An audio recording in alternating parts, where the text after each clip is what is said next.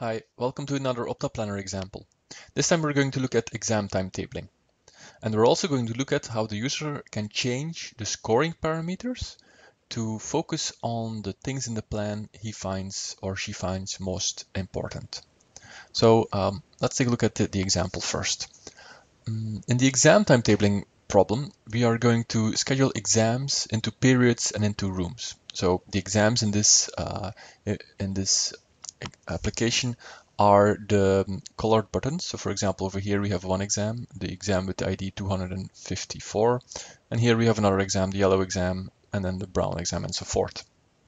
And we are going to schedule um, these into uh, periods. So for example, we're going to schedule them on the 15th of April at 9.30 or and or maybe in the afternoon and 15th of April on 14 uh, o'clock or maybe another day and so forth, right? And we have, as you can see, we have a number of periods which we can select from, right? Um, and then um, also we're going to schedule them in rooms, which are on the top here. So we have uh, seven rooms, rooms zero to rooms six. And of course, each room has a capacity, which you can see here. So for example, this room is the largest room, room zero, which has a capacity of 260 students. And other rooms, for example, this one only has a capacity of 100 and so forth. And uh, the rectangle here shows the capacity. So the more white space in the rectangle, the more the higher the capacity of this room. Similarly, uh, each of the periods has a certain duration. Uh, in this case, they're all the same. They all have a duration of 210. Uh, but each of the exams also have a duration, as you can see. So for example, in this, in the purple exam, it has a duration of 120. So you can see that uh, the oval is, uh, the circle is, is, is filled up to over half. And of course, we need to make sure that each exam, if an exam takes 120 minutes, that the period has at, at least 120 minutes. Now, because of it, and because in this data set they all have 210 uh, minutes, all the periods, we won't have any problems with that.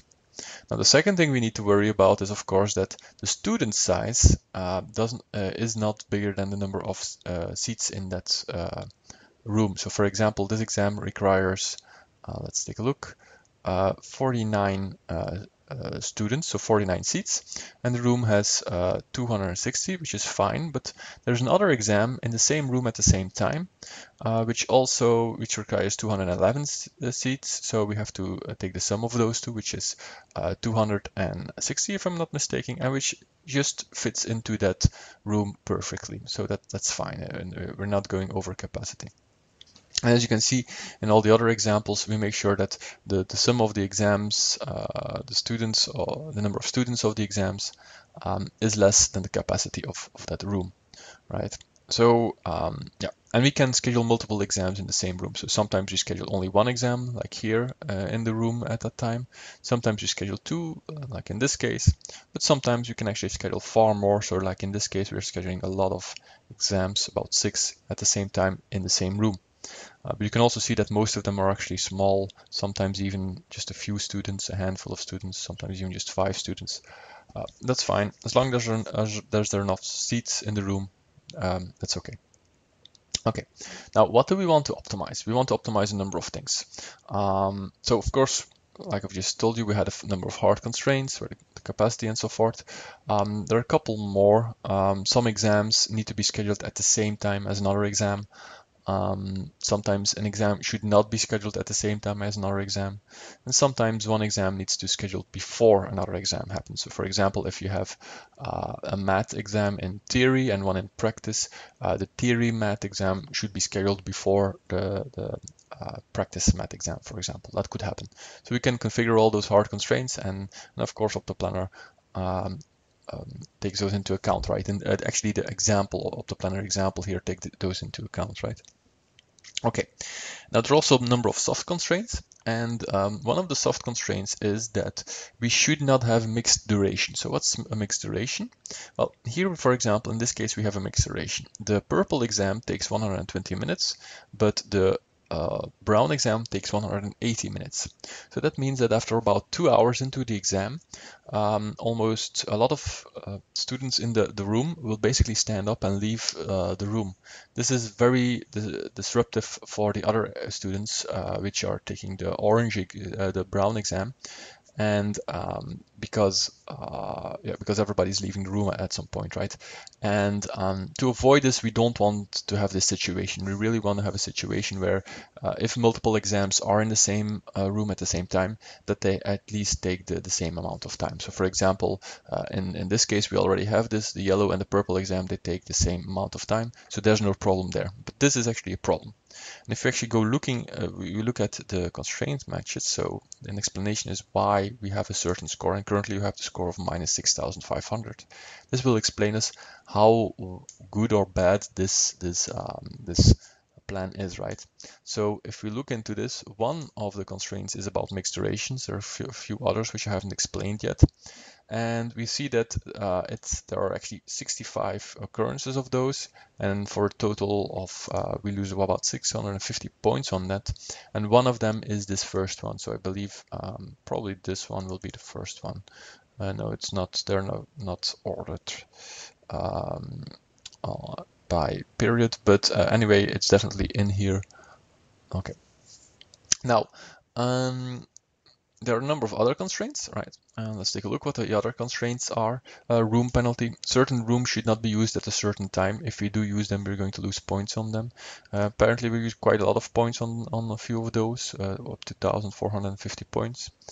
Uh, another one is period spread, uh, where we really want to spread the um, uh, exams as much as possible so that the student which is doing multiple exams uh, so uh, some exams share students, right? So for example, the purple exam might share students with the with uh, with this brown exam and so forth. Uh, if they share students, then these the exams should be as far as part uh, apart as possible, of course. Um, but of course, one student will have up to 20, 30 exams in, in, in one uh, exam period. So um, there's there's a limit and then uh, we mean we want to spread them as evenly as possible. But we don't want to have a case where a student has uh, two exams really short up to each other. And when they're really short uh, after each other then two exams are actually in a row. And that's that's even uh, a lot worse because um, if we have that we lose a lot of points just for having one instance of this. So two exams on the same day in a row that's just uh, a killer for some of the students and we don't want to have that. Um, and there's a number of other constraints. Um, yeah, like I said, room penalty, and of course front load. So what's front load? Well, the teachers they have to have the time to uh, grade the exams. Um, and that's why they want to have um, the most the exams with the most students uh, in the front of the schedule so that um, a lot of the exams are already done by half of the schedule so they have time to correct those exams and to uh, grade those exams. Um, that's why we want to have the, the ones, and, and we actually see those in here, the ones with, with a lot of students, so those with a lot of gray in, in the rectangle, we want to have them at the beginning. So this is good, this is one is in the beginning, but you'll actually, in this case, you'll find some in the, in the end here, as you can see, right? Okay, now let's see what happens if we uh, optimize this with Planner, uh, because this is just an initial solution you'll see that if you give it some time, the score will improve. And you will see that some of the exams are, are being moved as a result of that. So um, uh, this, this gives us a better schedule where the students are happier because uh, the exams are more spread uh, more spread more evenly and also the teachers are happier because they um, the, the, exams which uh, take a lot of grade where a lot of students are participating in are earlier in the schedule now, as a user, you might say, okay, but I still have a lot of uh, soft constraints broken here and that will never get to zero. So there might be a point when you say I have to make choices. Uh, I have to make a choice between the welfare of the student and the welfare of the teacher. And depending on the institution, you might, uh, and of course, uh, the realistic constraints of the teachers and the students there, you might want to plan this differently than the default settings, right? Because by default, all of these constraints have some weight against each other. And you might say, mm, this constraint or that constraint is more important to me than the others. So let's take a look at uh, what happens if we do that. So I'm going to stop uh, this for a minute, right? And notice that we still have this mixed duration over here, right? Let's suppose I really, really want to get rid of those mixed duration. Let's suppose um, Um, I'm happy to to lose uh, uh, to have so, some exams which are big at the end for that, or to have some students uh, have some more exams in the same period, as long as we don't have these mixed durations, because that's just really really disruptive for the students. So let's take a look at the scoring parameters. These are the scoring parameters. This means that every time we have two exams in a row, we will lose seven points uh, per student, even if I recall correctly. And then two exams in the, in the in a day. So every time a student has two exams on the same day, we lose five points per student. And then um, the number of other things like the period spread penalty. So the period spread length means that we want to have uh, five days uh, of uh, between two exams. And the period spread penalty is very low, as you can see, just one. Um, if that happens, we're going to lose that one point. So uh, we're really, really going to avoid two exams in the same day. But um, two exams, for example, in three or four days will only just cost us one point. So um, that's that's relatively okay. Um, now here you can see the exams of mixed duration penalty, right? So if you have the mixed duration on 10, then um, then we lose quite a few points, 10, but it's apparently not that much because we still have instances of that, right? So let's let's be unreasonable and let's uh, hide that a little bit to 1000. Let's take a look at the score also here at the bottom, what will happen there. You will see that the score immediately blows up because uh, to 64,000. The reason for that is, of course, these mixed durations. We have 59 of them, and they are costing us a lot of points right now because they cost 1,000 points per, and not 10 points per instance. Now, if we optimize now, you will see that um, as it starts optimizing, that OptaPlanner will take a look at those mixed durations and will uh, definitely break those. So um, here we have one. You can see that the score is going down. He's, he's definitely fixing mixed durations. Uh, he should be fixing this one soon too. Uh, you can see here are a couple, no, those are not mixed durations. Mm. And let's give it some time. But you can see he's basically throwing out all the mixed durations. Uh, now, okay, now, so this one's gone too. And he's, uh, of course, by moving those mixed duration, he's probably violating a few of the other soft constraints. Um, but as we said, we find it as a user far more important, to have no mixed durations, right? Um, so this is nice. This is one nice thing you can do if you're implementing a project with uh, OptaPlanner is that you can allow your users to change the scoring parameters. So you might have uh, a multi-tenancy setup where you say, okay, uh, we have one for this uh, school uh, setup, and we use the same application for another uh, um, same web application for another uh, school or for multiple schools. Now each school can is basically a tenant in, in your system, but you can say that per school they can decide what they find more important. So you can basically save per tenant what are the scoring parameters, uh, which of the rules um, uh, should apply and how much they, they should weigh. So you can actually use the scoring parameters to disable rules. So for example, let's say I don't care about uh, mixed durations, I can do that too. So I can do, for example, can set the mix durations to zero. All right.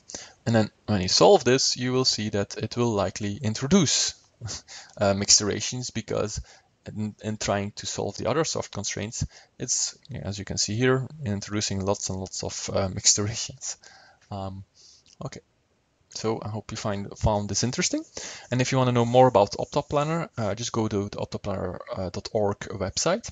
Um, so OptaPlanner is a, a lightweight uh, embeddable planning engine uh, for Java. And uh, you can use it in, in, in, a Swing application like this, but of course you can use it in a web application too, or, or any other uh, plain old Java application really. Um, this is just one of the examples which uses uh, Java Swing to, sh to show the example. So thanks for watching. Bye.